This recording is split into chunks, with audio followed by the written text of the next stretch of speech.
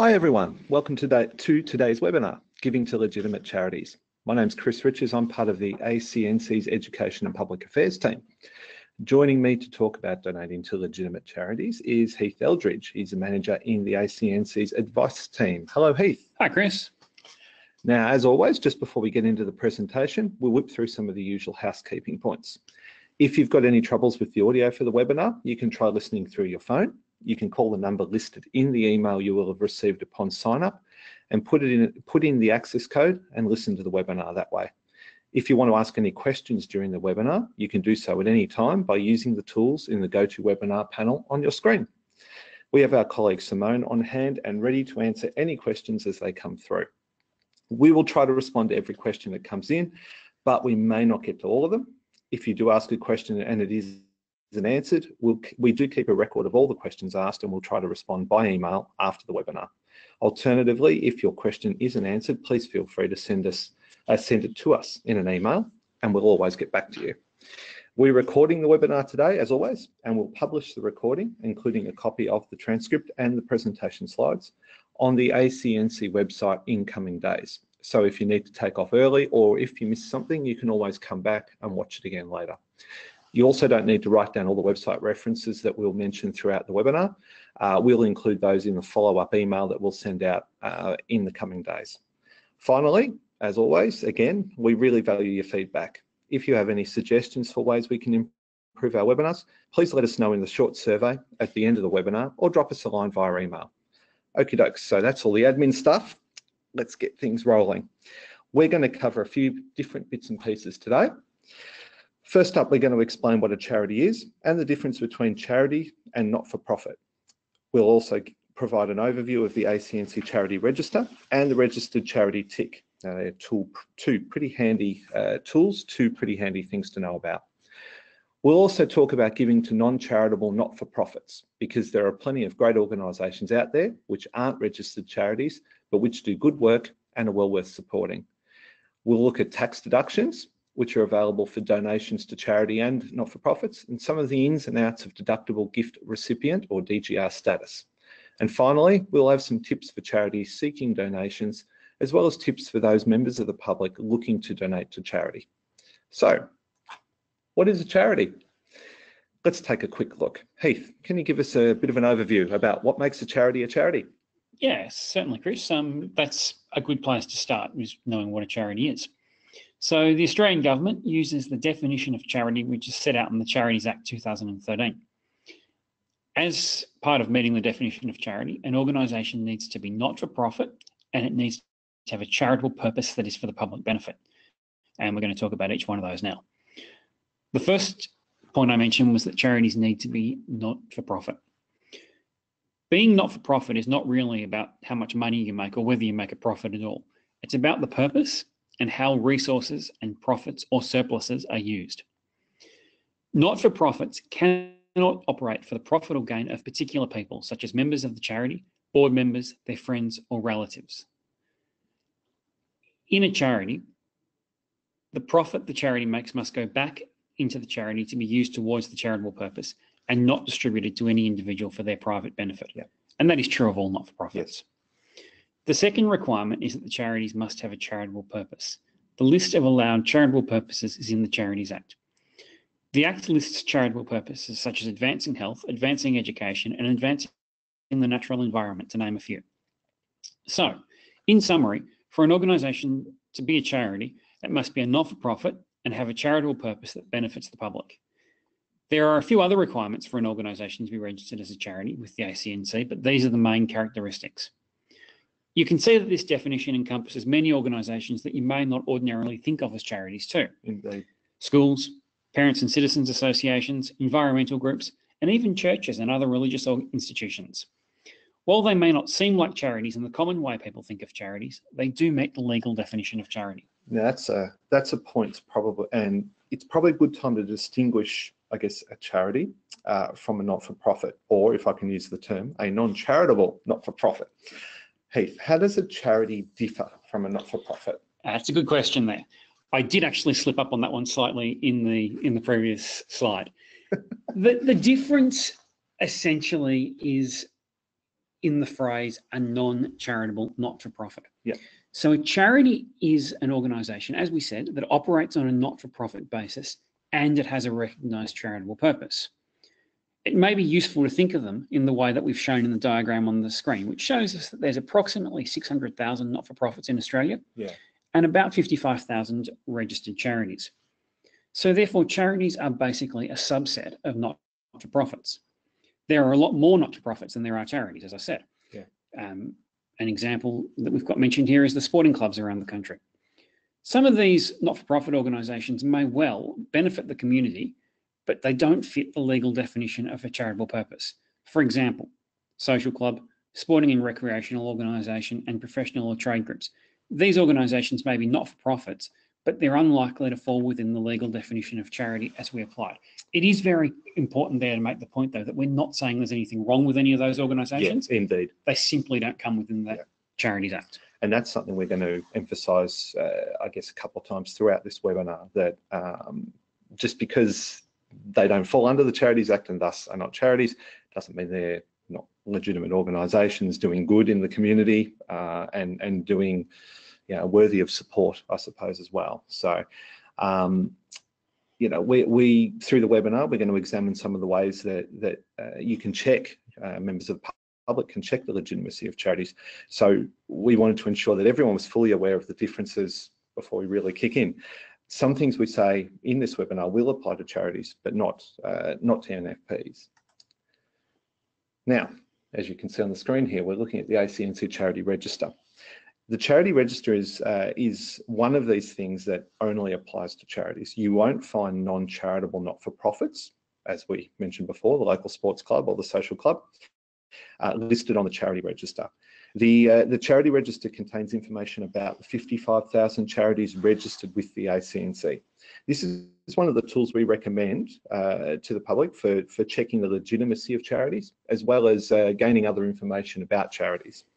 Only currently registered charities can legitimately claim that they are registered with the ACNC.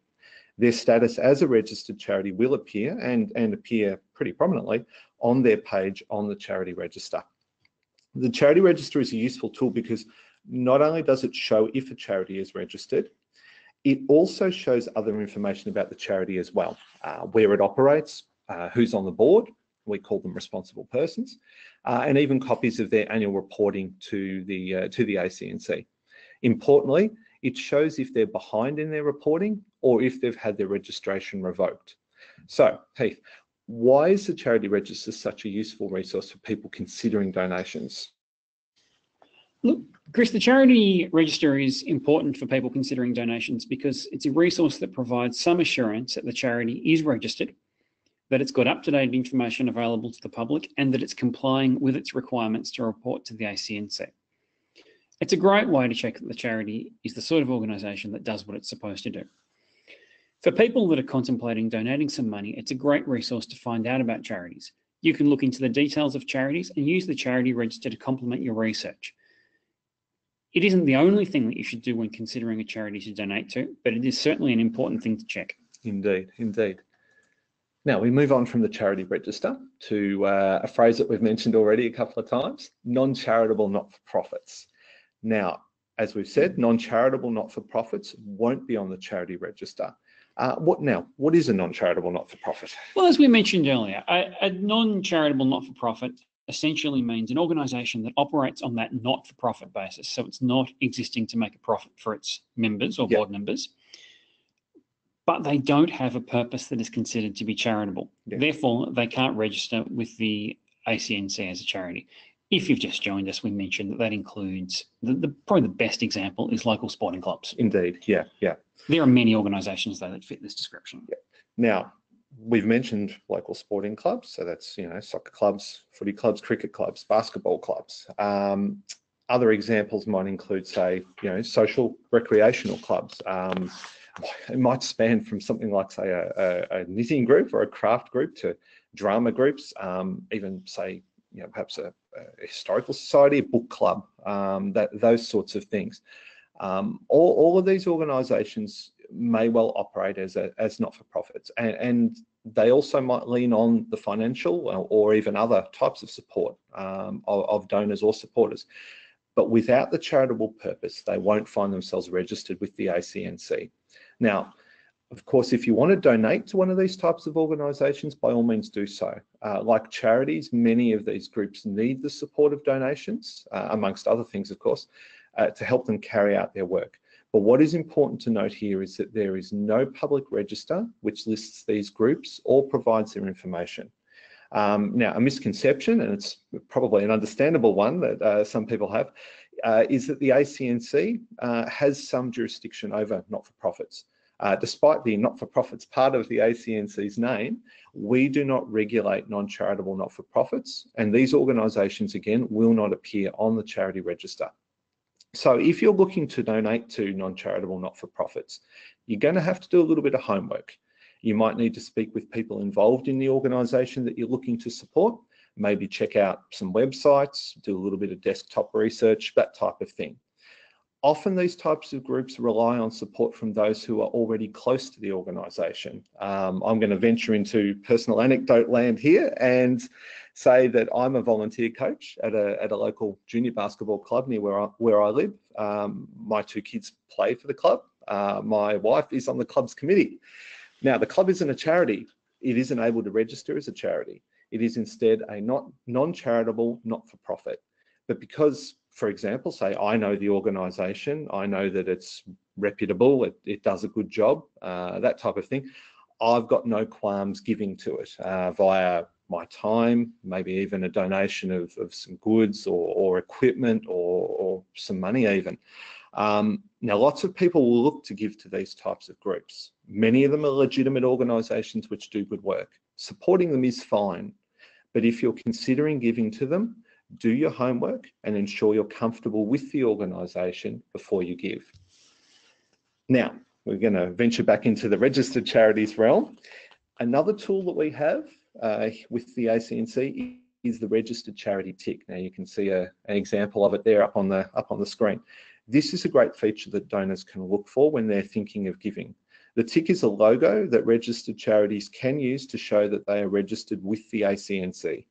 It's handy because there are times it might not be practical to look up a charity's listing on the ACNC charity register.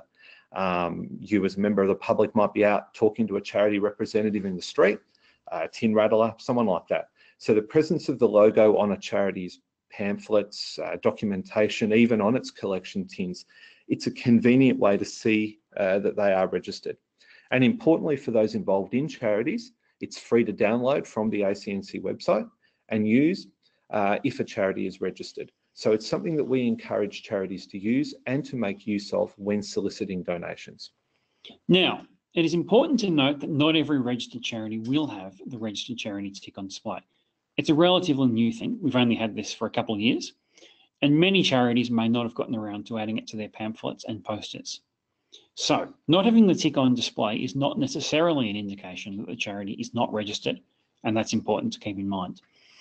If it is there, though, it's a good way to check that the charity is registered, but not being visible isn't an indication of any wrongdoing.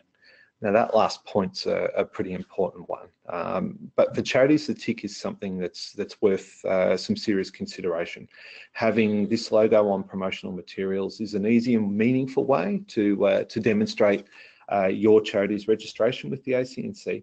Uh, it adds credibility to uh, your materials and and the information that you might have. Now, we're going to look at, uh, I guess, the importance of checking the checking the register, uh, the ACNC register, that is. Uh, checking that a charity is registered is important because, as a donor or a potential donor, it provides uh, people with reassurance that the charity meets the legal definition of charity, operates in a not-for-profit way, so that is, again, that no one benefits privately from the charity's operations.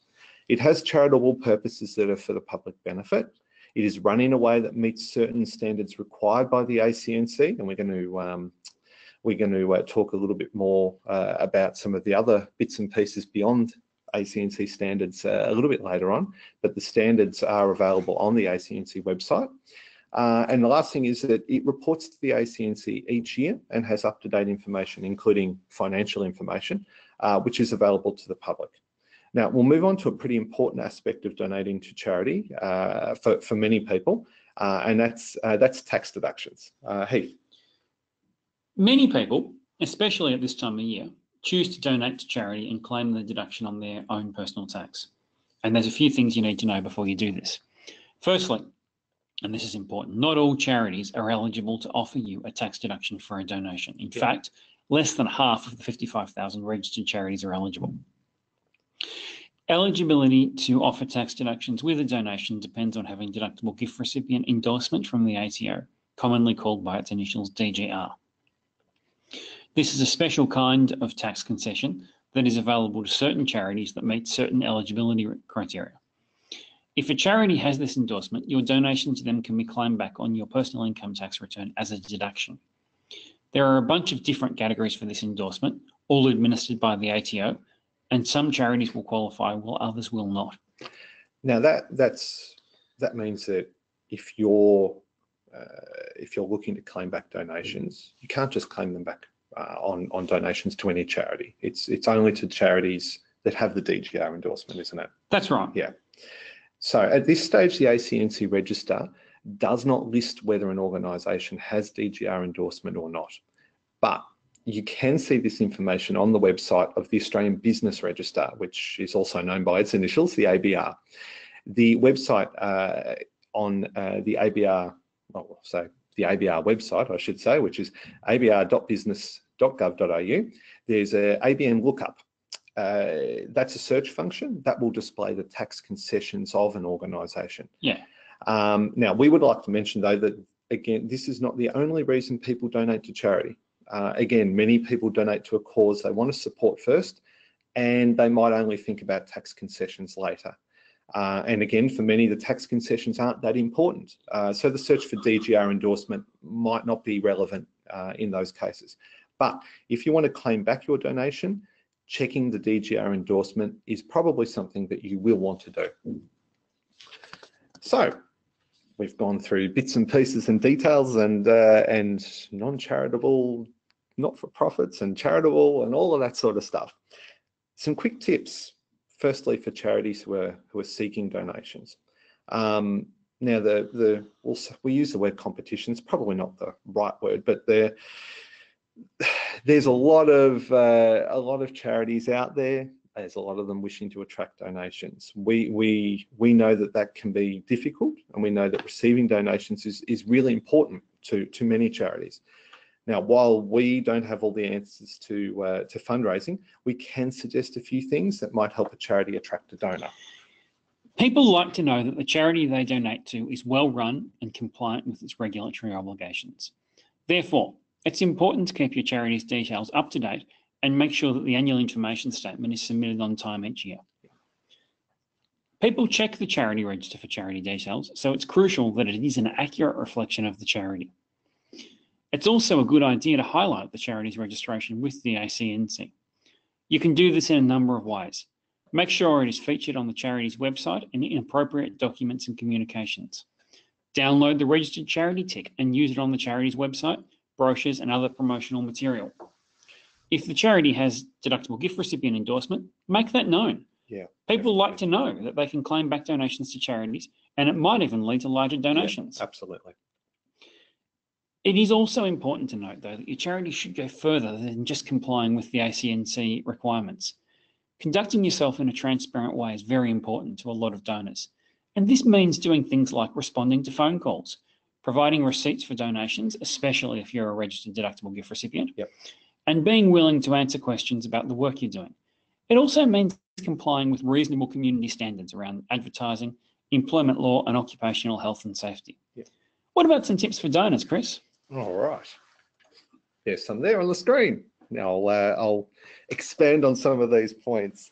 Um, for donors looking to make sure they're, they're donating to legitimate charities, as we've said throughout the webinar, um, check the ACNC charity register. Uh, looking for the registered charity tick is another important thing to do, especially if you're out and it isn't practical to check the charity register.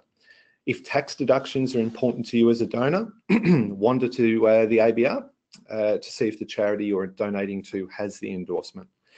Now, it's a little bit different if you're looking for a charity to donate. Oh, to donate to, he says, stumbling over his words. If you've got a desire to donate, but just don't know, you know, say which charity you want to donate to or, or to which cause you wish to donate to, um, you can use the charity register as a, as a, I guess, a handy search function to, to search for charities uh, doing work in a certain area. Uh, there is another tool though that we haven't mentioned uh, that might be more useful in this case. Uh, each year, the ACNC undertakes research on the charity sector and publishes the findings on a website, and that website is australiancharities.acnc.gov.au. It also publishes, or we also publish, um, that information in a report. Um, part of this research is an interactive database which appears on our website, uh, and that allows members of the public to explore the charity sector in greater detail. Now, the good thing about it is you can look up details of charities in a particular area, a geographic area, or according to a charitable purpose, uh, their charity size, uh, and many more categories. You can slice and dice the data uh, to suit yourself, and uh, it's look, it's well worth a look. It's a it's a, a very very informative uh, site, very very informative research. Um, but from a donations point of view, uh, the tool can be used to look for a charity. It is easy to use, excuse me, and provides very, very good information that isn't available on the charity register. Now, we've got a, a, little bit more information there, which we'll, we'll wander back to and we'll mention. We did have a couple of questions that we've been asked in the lead up to this webinar, which we'll, we'll uh, quickly go through. We're um, nearing the end of things. We're rolling through it rather quickly, which is lovely. First question we, we did uh, receive was, um, we had someone say to us that they've donated to charities during this financial year and also a couple of local clubs that are not for profit, but not charities. They've asked about whether they can only claim back the money they give to charities. Now, probably know the answer. The answer is you can only claim back the donations to organisations that are eligible to offer deductible donations organisations endorsed as DGRs by the Australian Taxation Office, uh, that's they pretty much fit the bill there. Now, for more information on that, uh, you can speak to the NFP team uh, at the tax office. Uh, they're, they're very helpful. Their phone number is 1300 130 248. You can have a word to them for, for more information. Now, another question we had, he comes into, I guess, and people know, it comes into the advice services team pretty frequently. Yeah. Um, and it sort of surrounds what happens if an organisation, say, claims to be a charity, but they're not on the charity register. And and the question that is often asked is, should I donate to them? Yeah, or a variation on that might yeah. be, I already did. Yeah, that's, that's the other variation. Have I done something wrong? the starting point to answer to that question is that we're not going to tell you who you should or should not donate to. Indeed. That is absolutely up to you, and you should donate to organisations that you agree with that you want to donate to. That's Indeed. that's your decision. Absolutely. That said, if an organisation is registered as a charity, that means that it has applied for registration and it is reporting to us and there's information available on the charity register. Yeah. If the organisation is not registered as a charity, which could be either because it is simply not an organisation that has a charitable purpose, mm-hmm. or it may be that they've chosen not to apply. Yeah. If they are not registered as a charity, they have not reported to us. Mm. So we're not at all telling you that you should not donate to your local sporting club or any other organisation that's not registered. But we do say that that we would encourage you to do your own investigations into that organisation and make sure that it's something you're happy to give money to. And that's the key. That's that's the key there. That the information about those types of organisations isn't going to be the stuff that appears on the ACNC website on the charity register. They're the sorts of things that if you wish to donate to these groups, it's almost beholden on you before you give away your hard-earned to uh, to an organisation to do that little bit of homework and that little bit of research. But you're certainly not doing anything wrong. That's exactly right. Now, up on the screen, we have uh, what have we got? We've got six websites. Um, now, there's uh, there's some links there that go to uh, bits and pieces around the ACNC website, and there's some links there that go to uh, the there's the ABR link, and there's also an ATO link to the um, to all the bits and pieces about claiming tax deductions, DGR, that sort of thing. Um, these are all worth a look. if you want uh, a bit more information. Again, don't stress if you don't get them all jotted down, although it's a shorter list than what we usually offer at the end of the webinar. Um, we'll get this information to you in, a, in an email uh, in the coming couple of days. Uh, now, there's some ways that you can stay in touch with us too, uh, via our site, via uh, other contact details, various other things that we do. Guess what? Those are those hours correct? Yes, they are. Yes, it's 5 p.m. now. This is good. Our, No. oh, hold 9 a.m. to 5 p.m. That's This right. is excellent. Good. We, we had an issue with the last one where the hours weren't correct, so we've gotten that right now. That's our um, that's our our support line to uh, to advice services. So uh, if you want to ring them, it's 9 a.m. to 5 p.m. There you go. Um, also, keep in touch via the commissioner's column, email updates, uh, our social media, Facebook, Twitter, YouTube, all those sorts of things. Now, we're just about done. Thanks to everyone who's uh, who's joined us today feel free to visit the ACNC website at uh, acnc.gov.au forward slash webinars. Uh, there you can see all the upcoming webinars we have. You can sign, uh, register for free uh, to attend, that sort of thing. Uh, we've got two of them coming up in July for uh, for starters, so we're going to be we're going to be busily pulling them together over the next little bit. Thanks so much to Simone for helping us out today. Big thanks to Heath as well for joining us and sharing his insights. Thanks, Chris. And yeah, from all of us here, have a great day. We'll see you next time. Thank you.